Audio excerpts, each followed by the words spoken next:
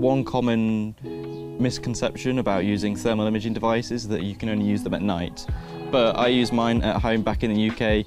uh, I'd say probably 90% of the time during the day, looking in bushes when I'm out for usually birds that I probably wouldn't see normally. And I can get through areas at a quicker pace because I'm not spending an hour looking at a bush that potentially doesn't have anything in it. So I can just simply just scan through the reeds and have a look. And we actually just over here, there's a striated heron that's sat in a sat in a bush fishing. But with my binoculars, it's it'd be really hard to pick out if you didn't know it was already there. And this device gives you that opportunity. ZEISS DTIs, you can minimise the bird's distress and disturbance that you potentially might cause unintentionally, but it does happen. And then even at night, owls, nightjars in the UK, woodcock.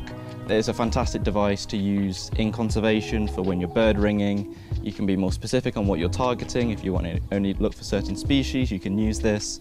It's a fantastic all-round product. Fits nicely in the hand. Buttons are really easy to use. You can take photos, you can take videos, and your focus wheel is at the end. And it's just straightforward, easy to use. And I love using it.